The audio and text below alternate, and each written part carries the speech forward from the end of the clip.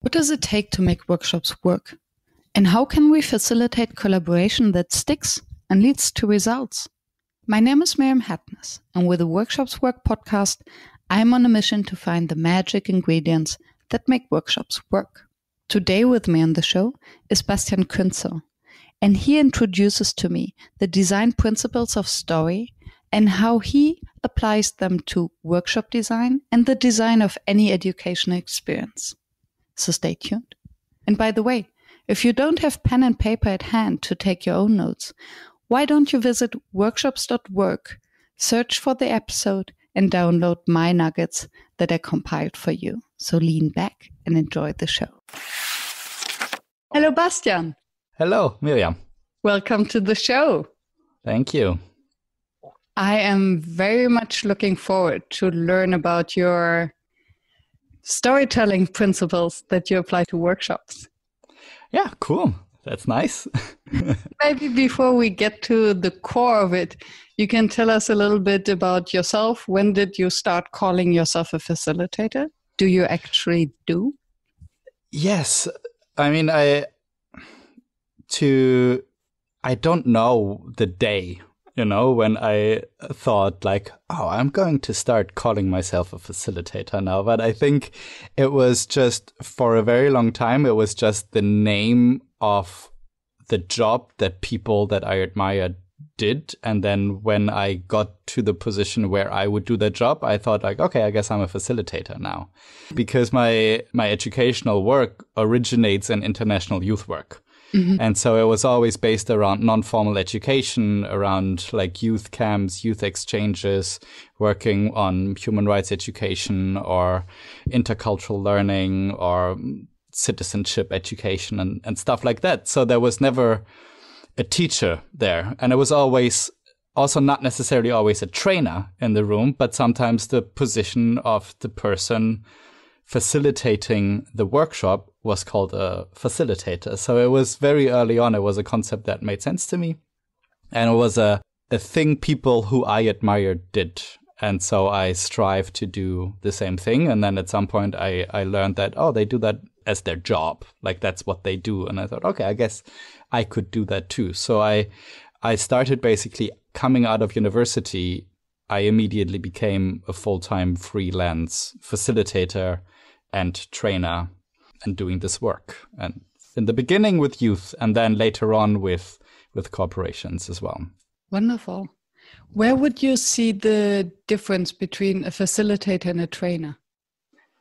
A facilitator to me creates an environment and creates a process for people to learn something, but does not necessarily provide the input mm-hmm. of what is there to be learned right? So the, the insights are being generated from within the process, mm-hmm. from within the minds and the ideas and the creativity of the people that are in the room.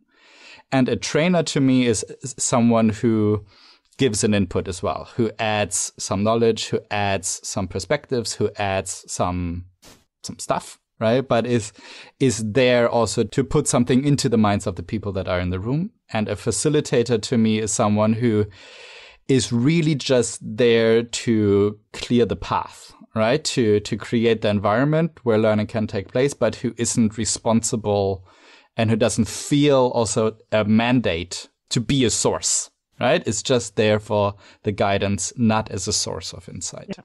And holding the space. Holding the space, yeah. And since we're into semantics and the, since you're also into education, we come to that later. Where do you see the difference, if you don't mind asking me the question. Where do you see the difference between educator and a trainer? To me, the term educator is kind of an umbrella term, mm. right? And to me, a facilitator is an educator, a trainer is an educator, mm. a teacher is an educator, a professor is an educator, a lecturer is an educator, a speaker is an educator, a social worker is an educator. I would go as far to say a manager is an educator. In the best right. scenario. In the best case. right? I mean, all of them in the best case, right? There are teachers who aren't educators. There are professors who aren't educators, right? But uh, that to me is the umbrella term is all the people who are in the field of helping others learn. Mm. Right? In whatever structure, in whatever form, in whatever format, in whatever forum that takes place. That's all educators to me. And then the, there's some specific professions within that that have a specialization on either a space, you know, like a university or a training room or a, a I don't know, a youth club, right? Or have a specialization on a on a content, or have a specialization on a process, right? But uh, but those are all in the area of education to me. Mm-hmm. Thank you. That makes a lot of sense to me. cool. and I with the audience as well. Wow. How did you make the jump from working in the youth movement to corporations? Was this something that happened to you, or did you make this step kind of consciously as a strategic move into I'm out of university, I'm an adult, and I'm a facilitator now? Well, the most pragmatic reason was you don't earn very well in the youth field and I, you know, was starting to have a family and starting to have a, you know, more responsibilities just over my own uh, life, but over other people as well. And so one thing was like, oh, I guess, you know, I'm going to have to look for opportunities to make a little bit more money with the work that I do. Mm-hmm.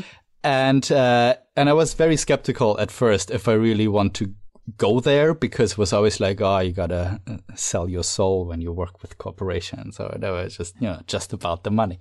And so what I did was I I met with a, a friend of my wife who used to work in a, a youth education organization and then went to work for a corporation in the HR department there. And I just thought, okay, let's have a coffee and uh, I, I just want to hear about how it is there. Yeah. And if I make an offer to a the company, how much can I ask for a day? You know, because I had no idea. Mm. And so we we met and we had a coffee, and he said, "You know what? I'm just at actually in the beginning of this really big international training program, and for this thing, I need a session." on the topic of culture. Do you think you could design me a session on the topic of culture and then just teach me how to facilitate it. Mm. And you get, you know, a little bit of money for it. And I thought, okay, uh, I can do that because I, I have a degree in intercultural communication. So I, you know, that was something that would come very easy to me. And so I did that. And then he invited me to this company to run a trial session of this one session with him and two other people from the HR department. And we did that and and then afterwards he asked me all right this is great. We're going to use that. Uh, can i just show you the overall training program that we are thinking of? And maybe you have some feedback or some ideas. And so i i looked with him at this and i essentially completely redesigned it. And then he said all right now that you've completely redesigned it you kind of need to co-facilitate it with me now at least in the first two places where we're going to do this in germany and in poland and so we did that. And then afterwards he said, ah, you know what? You're not, now we're a team. Now we're doing this together. You need to come with me to Brazil, China, and India as well to run this training program there as well.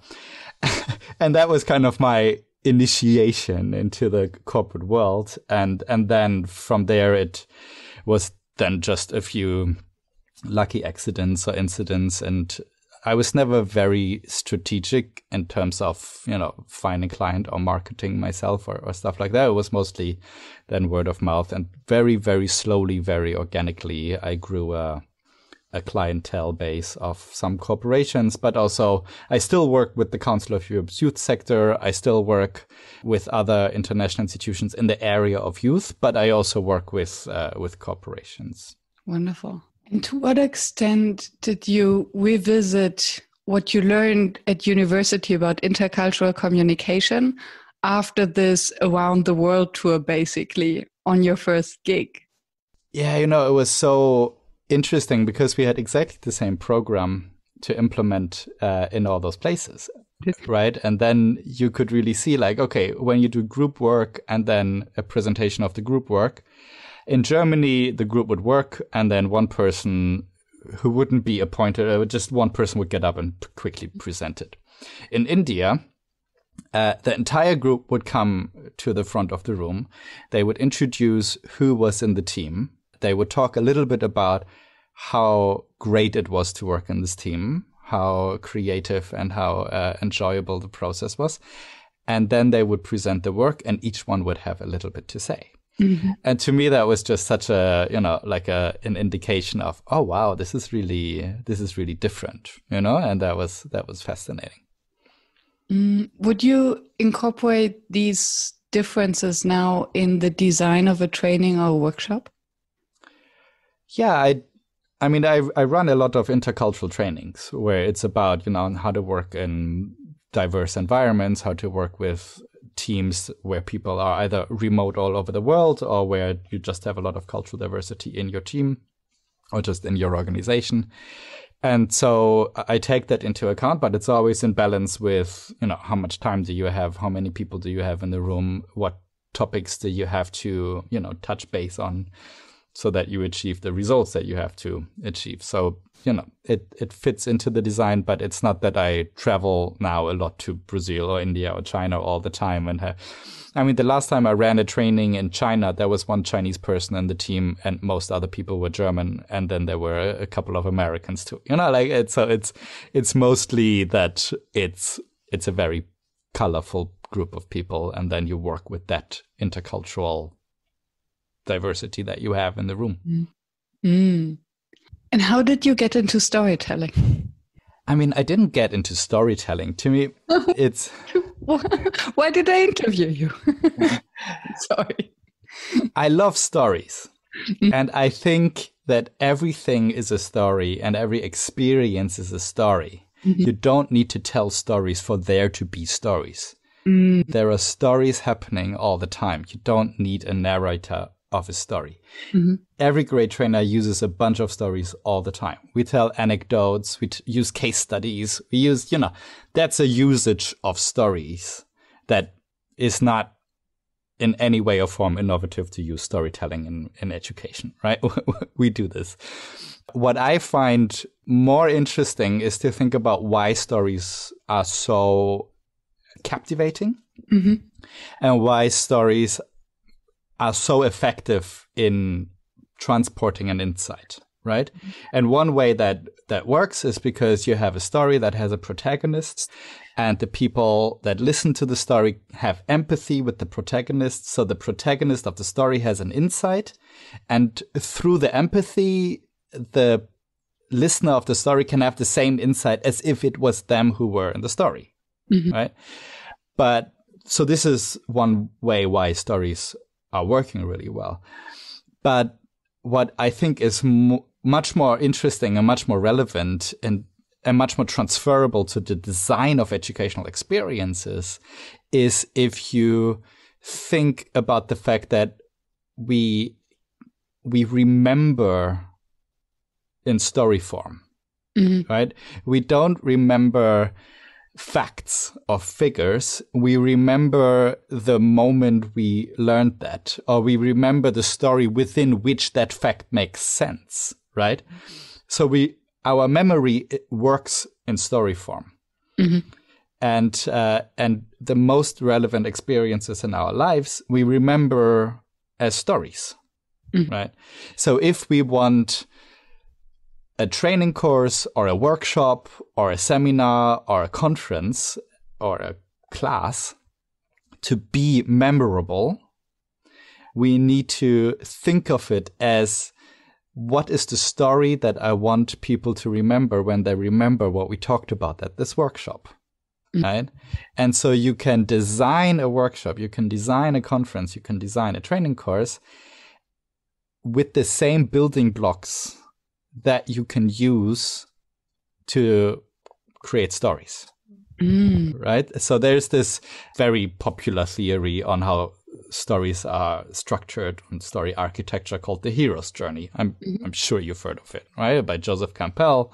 It has 17 steps. It's a lot of steps. Uh, a couple of years after him, a screenwriter called Dan Harmon, mm-hmm. who is uh, you know he, he, made Rick and Morty and Community, uh, a lot more slapstick, a lot more you know not quite as you know mythological and not, not quite as serene. Uh, but he took those 17 steps and he turned them into eight steps that he uses to create jokes and stories and story structures for sitcoms and for movies and stuff. And those eight steps, they work remarkably well as a guiding principle or as steps or design principles in creating workshops or seminars or conference learning experiences generally. Yeah. Mm. Can you guide us through the steps and how you would apply them to workshops? Yeah, so the uh, the eight steps you, which is the protagonist, right? Protagonist need, go, search, find, take, change, return. Mm-hmm. Return, change. You need, go, search, find, take, return change. Mm. It's essentially the main structure that every story you've ever read, mm-hmm. besides some very avant-garde stories that don't make any sense to people that you know just want entertainment. But the most mainstream stories ever, from Star Wars to Harry Potter, yeah, from Star Wars to Harry Potter to Lord of the Rings to you know every rom com ever, uh, follows essentially those eight steps, right? And so in a workshop, you can do that with, okay, stage one, protagonist, right? What we need to do in that stage is establish the learners as protagonists, mm. right? Where a lot of workshops go wrong is if the workshop is about the facilitator, right? I was about to bring that up. I was like, you well, I think you don't mean the facilitator because you no. the group. Okay. You is the group or it's the yeah, yeah. You is the group or you is the individual learner, mm-hmm. right? The protagonist. Yeah. And so we need to establish that it's about them, mm-hmm. right? And, and we need to do that by learning about their world, by learning o- about their pressures, about their, you know, what, how their life looks like, how their, what is important to them, what isn't important to them. Like all of this. Okay Yes, exactly. A stakeholder mapping essentially, but yeah. also just a moment in the beginning of the workshop that signalizes or that symbolizes you are the most important here. Yeah. Mm. So, so, there's, for example, one uh, way I, I often start seminars or workshops or things that are a bit longer, like five day things. Uh, uh, which is we don't start with the participants come in, sit down, and they get told what the program and the objectives are. But we do something called a, a, a welcome space. And so the participants come in, there's just music playing, there's a flip chart in the middle that says, This is your space, make it your own. And there's a few corners, you know, like a program space, like a, a concept space where the participants can start with mind maps about the important concepts about what this thing is about, etc., etc. So it starts with them and it starts with their initiative. They decide where they go first, they decide how to contribute, and it starts with them, you know? Mm. Or at a conference, the way how you design the name tags can have an impact, mm-hmm. right? Or the way how you create just the first experience where you realize that this is about me and the fact that I am here to learn something, not about the fact that this trainer or facilitator thinks they're pretty awesome, right? Because that is not enticing, right? And then the second stage, need, is then about the gap between how things are and how things could be right? Because learning is exhausting, right? Learning is not nice, right? Learning is not easy, right? Yeah. It's it's very hard to learn something, particularly when it's something difficult or when it's something that cha- forces you to change your idea about who you are or that it forces you to change a perspective. It's painful, right? So it needs to be worth it Mm-hmm. Right. And, and without it being worth it, without there being a clear need, a clear gap between this is how things are and this is how things could be, mm-hmm. it's very difficult to get them into the, into then the, the search phase. Right. Uh, so the most beautiful thing we can give a, a learner or a workshop participants at that stage is a, a personal question mark, mm-hmm. right? A, a question that they have that comes from within themselves. And experiential learning exercises are a great way to to trigger those. Right? You do an experiential learning exercise where you put them in a position where they don't think too much about how they behave. They just behave because you create, you know, some artificial pressure or you create some process that lets people become more emotional than analytical. Mm-hmm. And suddenly they see themselves behaving in a way that isn't up to their own standards. Or suddenly they behave in a way that is ethnocentric and not as, you know, tolerant and open minded as they thought they are. Or where they actually make assumptions about people where they thought they don't make assumptions, etc. etc. and then you example for such an exercise. I'm intrigued. Yeah, there's one very popular exercise in the intercultural field is called uh, Barnga, which is a card game. Uh, you have different uh, tables. People play a very simple uh, a card game, and each table has basically the same rules. There's just some nuances that are different. Mm-hmm. And then you say, okay, we're going to make a tournament now. And so people play at their tables, and then they have to go to another table for the next round of the tournament. And suddenly they realize, oh, they there's something different here, right? But they're not allowed to talk during this exercise. And so they suddenly have to realize or have to figure out how to to do that. And what happens very often is, for example, the people that are already at the table then dominate the newcomers, right? Or what happens sometimes is when a newcomer comes as someone who won at this at their previous table, they uh, impose their rules because they already have this attitude of I come here as a winner. The strategy doesn't work anymore because the world's changed. Exactly. Yep. And so you can really reflect on okay, uh, how did you react when some suddenly someone behaved in a way that for you means it's inappropriate. It's a rule violation from your perspective. It's not a rule violation from their perspective. And so you can reflect about that. It's between Germans reacting to that and Indians reacting to that. Not even that. Like I, I've done this with German civil servants and I had one participant who just, you know, I would say did a complete trump, which was that uh, she came in, she just pretended like she is right the whole time because she understood that no one knew what rules she originally had. And so she just pretended she's right the whole time and just kept on taking. And the others were too polite to say something, right? So it was, uh, and the others were so frustrated, but it was a, such a teachable moment, you know, it was such a, a way because this is sometimes how expats behave when they go abroad and they uh, come in as a leader or as a manager and they suddenly say like, no, this, this, this, and this, and everybody's upset and they don't even realize that everybody's upset. And then the problem in this situation, I lived in Vietnam for three years. Mm. And then what I saw is that then the the Asians or the Vietnamese, namely, they were too polite to say anything. So it was yeah. exactly the same situation where then men yeah. fail totally. Just yeah.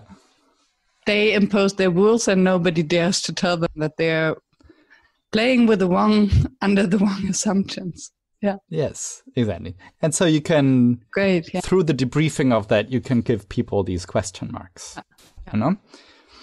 Okay, so I interrupted you in the flow of. Um... Oh, don't worry.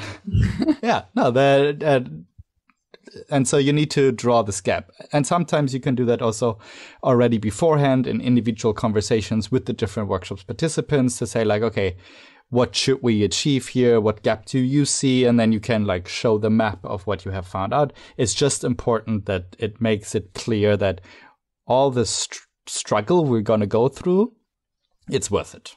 You know, it it's it's worth it in the end to go through that. You know, and then you go, which means you change the gear from.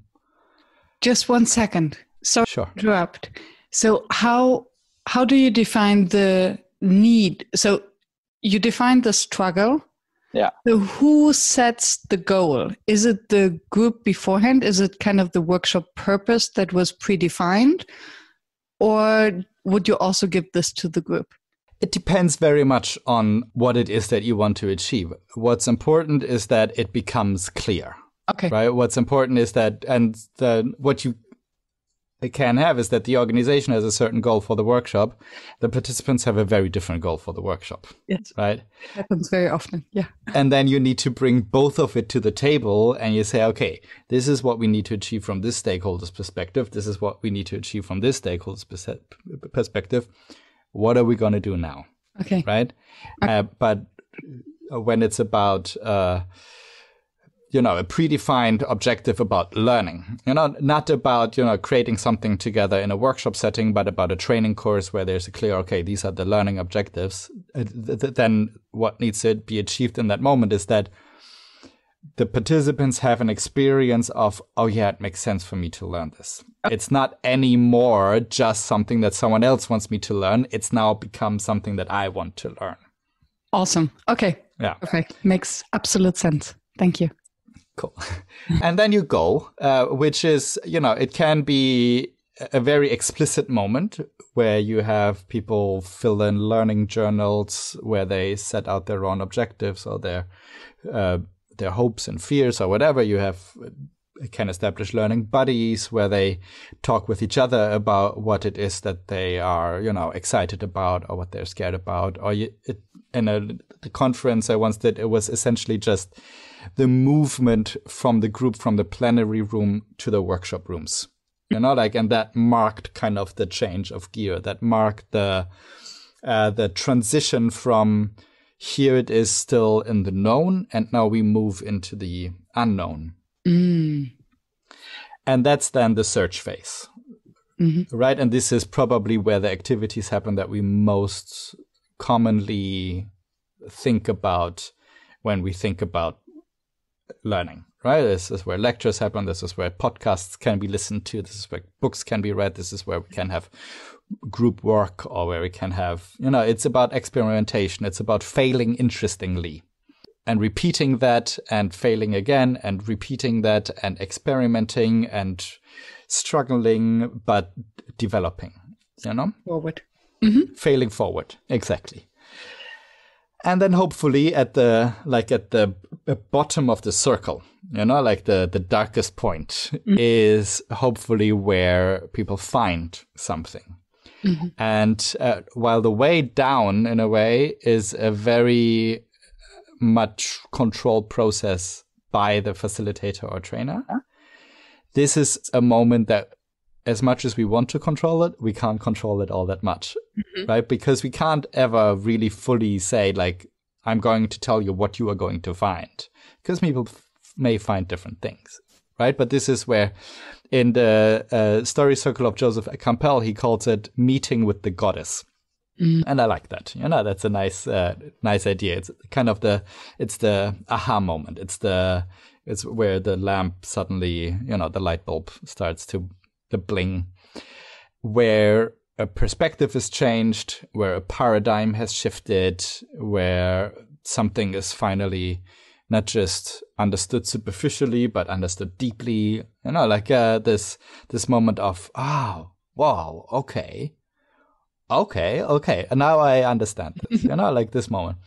And this is probably not where we can design a process that is really like boom, this is going to happen at this moment, but where we need to create kind of a an environment and a process where finding that is a lot more likely than without the process. Yeah. You know, like where we can have these quiet reflection moments, or where we can have conversations between participants, or where we can have coaching moments, or where we can have learning journal entries, etc., etc. Mm. Do you ever feel you're tired of the trip from home to the home office, that the physical confines of your house are not getting you the exposure to the new ideas that you need, maybe you need Mastermind. At Mastermind, you work together with a group of peers who help you bring new perspectives to your challenges, to find new solutions, and who you can even give a little bit back to by helping them solve their problems. In a compressed two hours, you'll get a day's worth of learning. So why don't you get out of that box and come to Mastermind?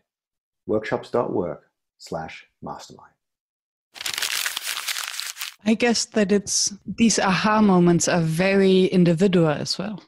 Yeah. So I guess that if you have a larger group, there will be those who, the moment you start, they already have the light bulb Yeah. which illuminate the entire room whereas all the rest is just sitting in the dark like what so Yeah. how would you how would you deal with these differences in pace ideally you have a bit of time right uh, where people who understand something and are happy with it can sit with it for a while and play with it for a while. And those who need a little bit more time to really understand it or to understand what it is that they need to understand mm-hmm. they have the resources or they have the support or they have the offers to really manifest that that understanding. Right? So this and and what really works is to have a lot of different methods to have a lot of different moments to have a lot of different environments. Some people thrive in public settings like the whole group sits together and they can just publicly think aloud. And and and some others just need a quiet evening you know? And some others need just one-on-one time with someone who they trust. And some others just need uh, to experiment more you know? To uh, to do something with it and then see how it feels. So just to have a lot of different like to have a lot of methodological diversity is i think crucial to allow for this multifaceted approach to the insights. Yeah. Yeah. and if someone doesn't get it? Well they're not going to get it then you know? It, it's a it's a thing that is not forcible. You can't force people to learn something. And and mostly if someone doesn't get it if someone doesn't learn what it is that they need to learn mm-hmm. or what it is that is there to be learned. Mhm. and if they don't learn it it means that it didn't correspond to a need. It means that beforehand you didn't see them it means that beforehand you didn't understand what it is that they need right? If uh, it's it's uh, like uh, when you cook a, a three course meal that has a lot of meat and uh, you know eggs and cheese in it and and you try to feed a bunch of vegans and they're not eating anything it doesn't mean that they're not hungry. It just means that what you cooked isn't what they can eat right? With a brilliant example yes. Absolutely.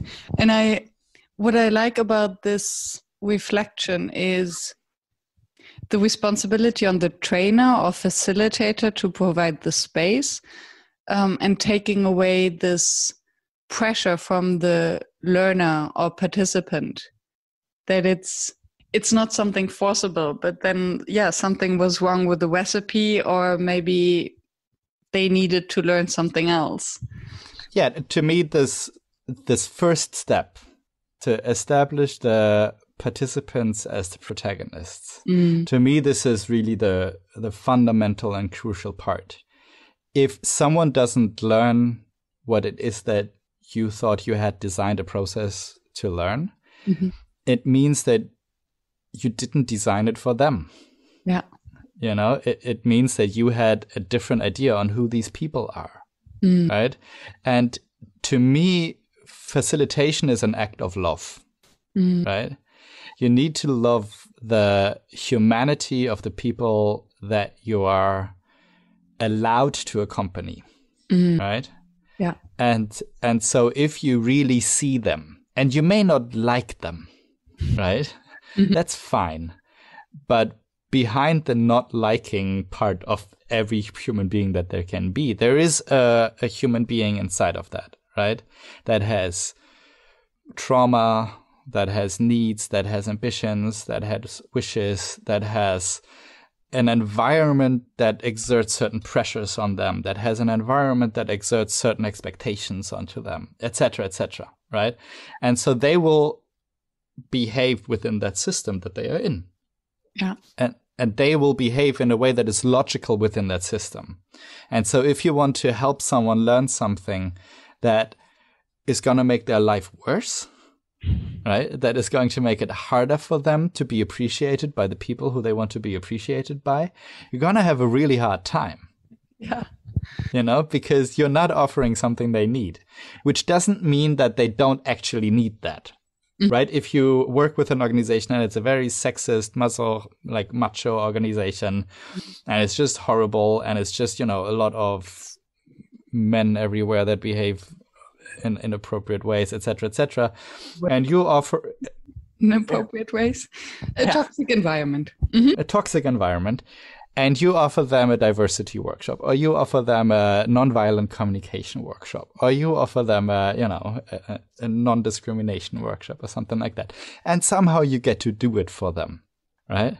Mm-hmm. It doesn't mean that you can start with, all right, I'm right, you all are wrong, and here's how you should behave from now on, even though that doesn't make any sense in your system, right? It, it means you need to uh, uh, tone down your expectations and look at, you know, what is it where you can touch something in the people that resonates with them. And why are they behaving that way? So, what is yes. it that triggers and that maintains this kind of culture of sexism and discrimination? Yeah. Yeah, exactly. Yeah. So it's a very like to it, to facilitate a learning process. To me, it, it requires a lot of humility, mm-hmm. and it requires a lot of distance from your own um, mm-hmm. expectations or from your own ideas of what is uh, important mm-hmm. in life. Yeah. It shouldn't, however, be an act that is not value based. Mm-hmm right? So t- to me, it's it's really important not to say, okay, you're a bunch of racists. I'm going to accept that, and you know, let's see how to make this place better. No, that is like a, a human rights starting point of okay, there is a wrong and right in this world, and the Human Rights Declaration is kind of the basic documents that we can use to evaluate that. And let's not go beyond that. But besides that, you know, like to tell people their value system if it doesn't impede other people or if it doesn't hurt other people. There's nothing wrong with that, you know? Mm. And to yeah, it's it's a tricky process sometimes to to love your learners. Yes, yes. It takes a lot of self awareness to, yeah. to be triggered. Not to be triggered. And sometimes it requires a good co-facilitator or a good co-trainer who you can sit with over a glass of wine in the evening and just you know and just you know talk about the the participants who you both don't like. But then when you're in the training room you act professionally and yeah. just try to see their humanity again. Yeah. Yeah. Yeah. So true. Okay. So after the light bulb moment. After the light bulb we have then the take phase mm-hmm. right and this I call this phase kind of the the incorporation phase, mm-hmm. where the the learners need to incorporate this insight, mm-hmm. right? Because at the moment the light bulb is still there next to them, right, and it's still detached from them, and and to me this incorporation means like to literally make it part of your body, right? Incorporar, right? Uh, make it a part of your body. Make it a part of who you are now, which means working with it, which means figuring out what is my way of expressing this the fact that I am now someone who is able to do this, or I am now someone who knows this, or I am now someone who looks at the world with this perspective. Yeah. Right. And to to play with that and to kind of try it on and walk around in it a little bit to see how it how it fits. Mm-hmm. And that is something that in a lot of trainings or a lot of seminars is sometimes missed as well. Mm-hmm. Right? A lot of trainings, like traditional trainings or traditional seminars or classes, focus on the search and the uh, find, right? You have the lectures and then you have the exam, and that's kind of the search and the find, right? But it's not yet incorporated. It's not yet become something that someone considers part of their their self now, right? Yeah, and just to build on your example, I was just wondering if I need a new jacket. I said, yeah. I find one. I would never yeah. buy it without trying it on. And maybe if it's a very expensive jacket, showing it to the people I tr- whose opinion I trust to see what's yeah. really suitable. Right? Yeah, yeah, exactly. And to just like, okay, it, when I wear this jacket and I look in the mirror, do I see a version of myself that I like? You know, is this Yeah. is this who I am when I when I wear this? You know, and the same is with with knowledge and with skills, right? Totally. Trying out how I behave when I speak with nonverbal uh, with uh, nonviolent communication techniques and the way how I sound then Mhm. is that how I would like to sound like? Is that someone who I like better than the person who didn't have the skills to speak about conflictual issues in this way, for example? And maybe also just to give the space to experiment with it, because at Yep. first it might sound strange, like, oh, this doesn't feel natural to me to Yeah. ask all these questions and Yeah, yes and everything. yeah, When before I yes but everything, yeah, to give them the time to accustom to play around to make it their Yeah. own. yeah. Yeah. Yeah, or in trainings for trainers, it's where uh, people run their own training modules and experience themselves as trainers in front of a group of their peers and experiment with different methods, uh, with different methodologies or whatever. Yeah. you know. Mm. And then, so that's the the take phase, and then you have the return phase, uh, which is, I mean, it can be just saying goodbye and people return, uh, but ideally, it's actually thinking about how you bring this new knowledge or this new way of acting or this new perspective back into the, your old reality Mm. you know? Who in your old reality has a completely reasonable interest for you not to use what you've learned here? Ah, what who potential roadblocks? yes but also who in your old reality really wanted you to learn this and is going to be an ally now? What are the ways how you can integrate what you have like it's from incorporation to integration right? How can you integrate your new way of of thinking or your new way of being or your new way of knowing into the world that hasn't been here yeah Yeah. and that again is something that we typically don't spend a lot of time on because time is a very scarce resource but it's something that is really powerful when you can do it to do it Yeah. because it it allows for uh, a very a more mature way to think about strategically hmm how do I want to make this one day or two day or three day workshop sustainable? How do I want to make it worth it? You know, was it just three days where I had fun thinking in strange ways, but now I go back and act like I've always have? Yeah. Or in what ways can I actually make this take roots and and become part of the world that wasn't here? Yeah. And how who are the people who can really support me and how do I deal with those who might want my old self? Yeah. Yeah. Yeah, it reminds me a little bit of not that I have personal experience with that, but anonymous alcoholics. So Yeah. if, or, if, or drug addicts. So if Yeah. you want to return into your normal life, you have to think, okay, who are actually my codependents who would Yeah. like me to stay in this addiction because it makes them feel better? And who are Mm. the people who actually support me in turning my life around and having this better life? Yeah. And by being conscious about it, it's much easier to go out and to implement it. Yeah. Um, and to be ready also for the obstacles that might wait there. Yeah, absolutely. Like this is really important when you do strategy workshops with management teams or when you do mission and vision establishment workshops or when you just do team building retreats or also when you do intercultural workshops or communication workshops or, or trainings around conflict resolution. It's um I can perfectly see that. Yeah. yeah, like a training room or a workshop room is a very magical place, right? There's markers and flip charts, and uh, you know, there's snacks Togetherness and energy. and togetherness and energy, and there's a mutual support, and you don't have any other things to do, right? You don't have to check your emails, you don't have to please your boss. It's a very safe space, which it should be. Right? Yeah. But it, it also makes it very enticing to think afterwards, like, oh, yeah, yeah, in this training room, in this safe space, I could be more tender, I could be more caring, I could be more empathetic. But now I have to, you know, it's a jungle out here. You uh, know, now I, I it's not for it's not for here. So it's it's important to think about that that transfer.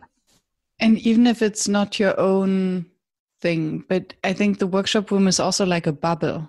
So everyone yeah. in this room, you created something together, and then there's this optimism that of course it will work. So it's this combination yeah. of positive energy, maybe overconfidence.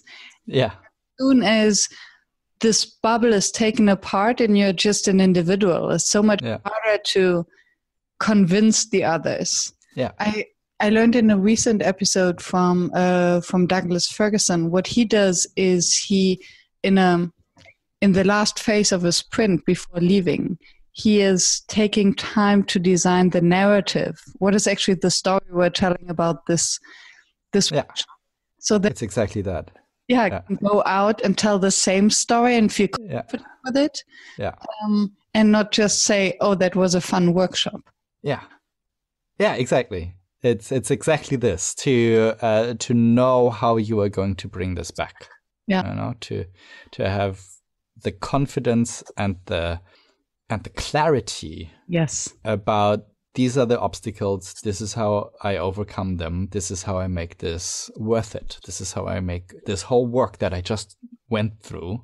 Yeah. This whole emotional labor, uh, this creativity. This is how I make it last. Yeah. yeah. Wonderful. And then the last stage is change, where you know, hopeful, hopefully the learners have changed, and hopefully the environment that they bring the change into will then change as a result of it. Right? But this is where we really don't have any power anymore as facilitators or trainers. This is where it's really all up to the learners then. Thank you. That was so insightful. Thank you.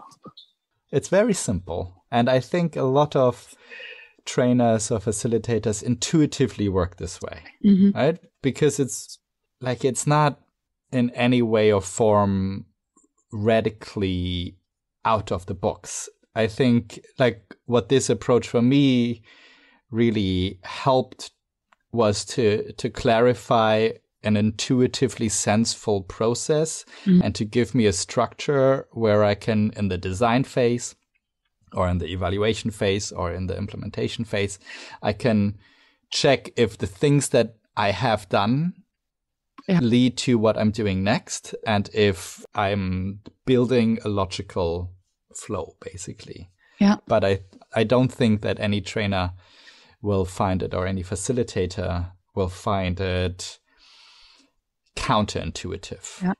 I think it's a very intuitive uh, way. And, and, it's in simplicity that hides yeah. the wisdom and the power. Yeah. So, according to you, what makes a workshop fail? A workshop fails when it's it's not embedded in the world of the participants of the workshop. Mm. When the participants of the workshop are irrelevant mm. with regards to what they can bring to it. Mm-hmm. You know, when it's not important to give them space and to be seen and to be acknowledged and appreciated for what it is that they offer, right? Yeah, and if it's not embedded in the overall context and the overall world where this happens, you know, when you organize a workshop and it's about something that is ignoring or is pretending to happen in a reality that isn't there, mm-hmm. then it's it's going to fail, you know? Yeah. Nice. If someone in the audience fell asleep after minute one, just woke up and thinks, oh my goodness, I don't have time to listen to all of that again, what would you like them to, to have in mind or to take away from this show? To continuously see the learners as complex human beings who are not just there as participants of a workshop, but who have a whole system that they are embedded in and who have a whole world that they belong to, that they bring with them to the workshop mm. and to work with that and to really put yourself in a situation of of a guide, of a respectful companion that is on a journey that has been invited to be on this journey. Mm. That has no mandate to tell anybody what they are supposed to think, Mhm. but that continuously requires the generosity of the learners to give them access to their mind, basically. I think that for me would be the core of it. Nice. So when are you writing a book about your concept? Oh, I have written a book about it. Oh, so I will put the link in the show notes. Good. yeah. Can I find it on Amazon? yes. Wonderful. It's called The Learner's Journey. Of course it is. Of course it is. it had a couple of names beforehand in the in the in the drafting phase, but then this emerged as a as a suggestion and I thought, yes, of course it needs to be called this. After one hour in a conversation with you, there's no other title that could fit. Yeah, yeah. No, it's a it's a fitting title, I think. Great. Thank you so much for sharing all of your insights and expertise with us. Sure. It was a true light bulb. Oh no. yeah, thank you very much for uh, you know inviting me and and thank you for giving me a forum to to talk about this. It's uh, you do very important work, and I'm very thankful to you. Thank you. Thank you for staying tuned and listening to the show. I appreciate your attention as I know how busy you are. If you enjoyed it, please subscribe and engage by sharing your comments and thoughts, and visit workshops.work to download the one page summary. I'm looking forward to seeing you back at the next episode, and I wish you a fruitful day.